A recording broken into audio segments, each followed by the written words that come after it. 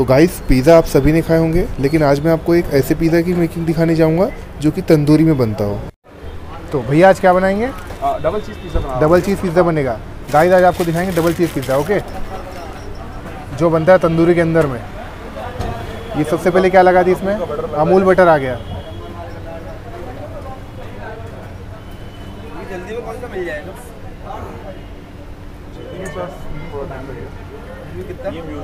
म्यूनिश आ गई गाइस ये क्या आ गया? टॉपिंग है। अच्छा अच्छा।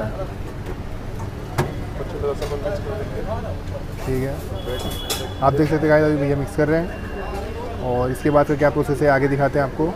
वीडियो को बिल्कुल भी स्किप मत करना वीडियो को फुल वॉच करना। आप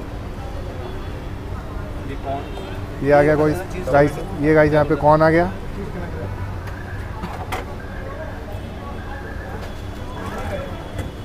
ये अनियन आ गया अच्छा ऑनियन आ गया।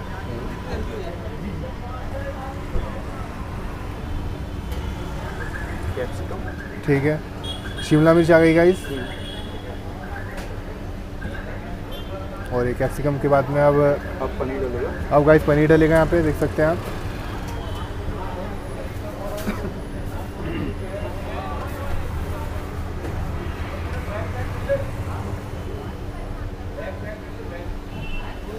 पनीर अच्छा पनीर। अब आखिरी में गाइस पनीर आ गया है देख सकते हैं आप। पनीर के बाद क्या होगा ये आपको हम आगे दिखाएँगे।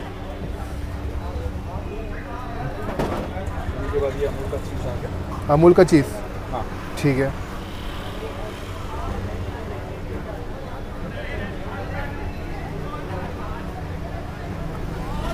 इसका क्या प्राइस रहेगा? ये 115 का सर एक सौ पंद्रह रुपये का डबल चीज़ पिज़्ज़ा है। ठीक है अपने यहाँ पे पिज़्ज़ा की क्या रेट से स्टार्ट है? Sir fifty five rupees fifty five से स्टार्ट है ना? ये मोजरेला आ गया अमूल का। अच्छा, अच्छा।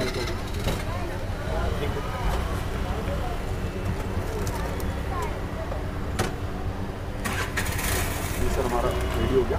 ठीक है अब क्या होगा? अब इसके बाद बेक होगा इसके अंदर। अब गाइस टाइम आ चुका है बेक करने का इसको। तो इसका क्या तरीका होता है आपको आगे दिखाएँगे। गाइस अब देखते क्या होता है? ये भैया ने इसको साँचे के ऊपर रख दिया गाइस आप देख सकते हैं।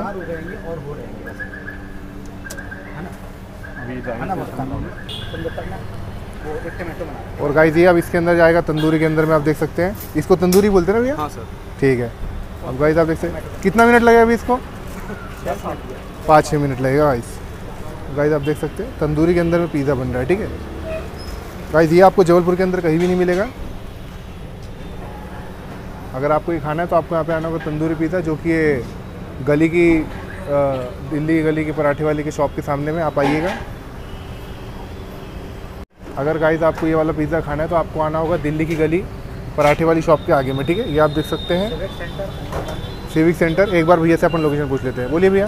सिविक सेंटर अंजुमन स्कूल के सामने। ठीक है। मॉल के पास।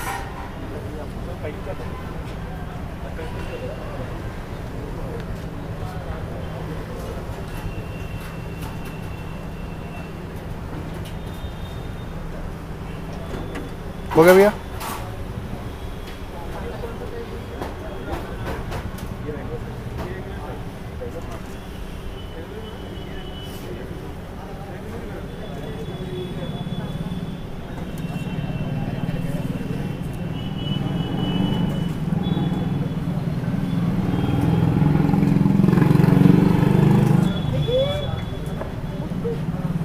चलिए अब क्या होगा भैया इसमें? चीज़ सॉस डलेगा। चीज़ सॉस डलेगा अभी बस गए अब देखिए फिनिशिंग का टाइम आ चुका है। तंदूरी सॉस ये भैया ने कट कर दिया इसको चार पीसों में। और इसके बाद गाइस इसकी पैकिंग हो जाएगी।